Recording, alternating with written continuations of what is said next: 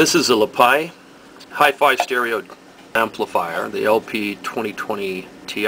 Here it's claiming 20 watts output RMS per channel and speaker impedance is 4 to 8 ohms at the frequency response 20 to 22k with less than 0.1% distortion. We'll see if it does truly do 20 watts per channel RMS. So here's the power supply that comes with it. This is a switching power supply and it is regulated. Its uh, output voltage is 12 volts at 3 amps.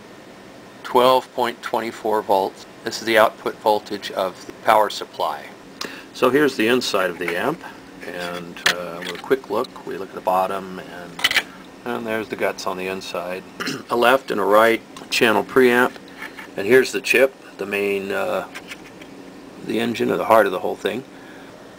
That is a TPA 3118. Right here they're saying 20 watts per channel. That may be an that's RMS so and they're saying into 4 to 8 ohms. Well that probably means 4 ohms.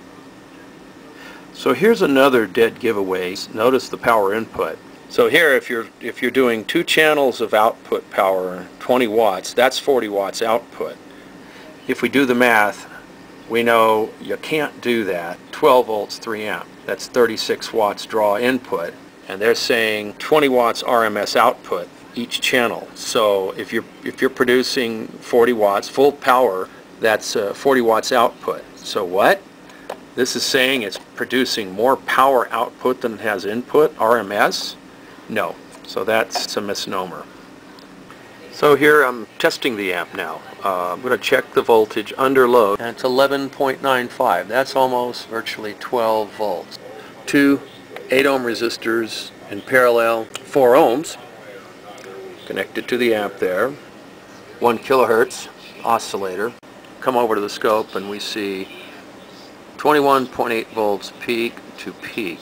Here we got 21.8 volts peak to peak into 4 ohms. So here's the watts RMS. 14.85, virtually 15 watts. So there it confirms it here in our specification that it'll do 15 watts per channel RMS and we verified that. Now I'm going to try it at 15 kilohertz and let's see what the waveform looks like. As we turn it up and down, watch the waveform. Notice it goes just before clipping it does go through a little distortion right there but it's not bad. It's actually pretty good. Here the Lepai with the existing power supply will do 15 watts RMS per channel and not 20 watts per channel. And that's into 4 ohms 4 ohms load. Okay this next an external power supply set it for 15 and a half volts DC and I connected it to the LePai amplifier and let's look at the output. And there it is, 27.5. Of course, putting that in the calculator here, it's 27.5 into 4 ohms gives us, ta-da, 23.6 watts output. Now we're going to try it at 20 volts and see what we get. That's 33.2 volts peak to peak. There it is uh, and again into 4 ohms. Wow, look at that. About 34 and a half watts into 4 ohms. Ow, that, that chip is getting quite warm. Ow. So run it for that much power. That would need a heat sink.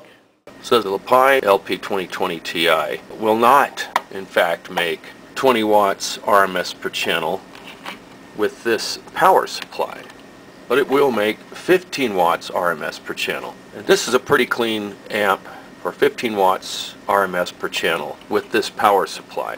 I give it a thumbs up for that, for being a Class D amplifier, LePai LP 2020 Ti amplifier.